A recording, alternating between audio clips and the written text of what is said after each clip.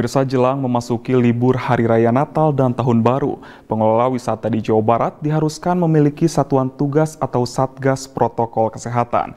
Nantinya satgas tersebut diwajibkan untuk menegur para wisatawan yang mengabaikan protokol kesehatan guna mencegah munculnya klaster baru penyebaran COVID-19.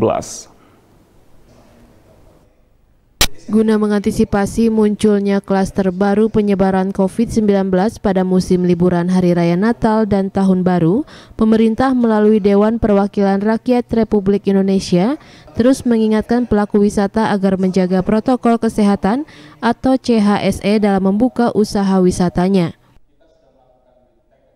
Selain menerapkan protokol kesehatan dengan pola 3M, pengelola wisata pun diminta agar menyiapkan satuan tugas atau satgas protokol kesehatan yang nantinya akan bertugas patroli serta menegur setiap wisatawan yang mengabaikan protokol kesehatan. Hal tersebut guna mengantisipasi munculnya klaster baru penyebaran COVID-19 saat musim liburan Hari Raya Natal dan Tahun Baru. Sudah sejak beberapa kali dalam sosialisasi bintek seperti ini kita menyampaikan kepada para pengelola controllingnya itu bukan hanya sekedar 3M saja, bukan hanya dengan menyiapkan termogan, uh, apa cuci tangan atau apa, tetapi harus ada satgas yang berputar.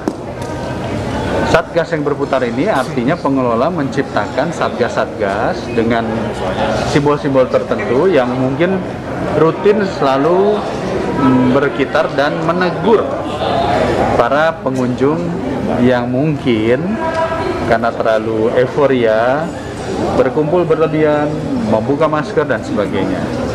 Nah, sanggupkah pengelola menyiapkan satgas? Jawabannya adalah sanggup daripada ditutup.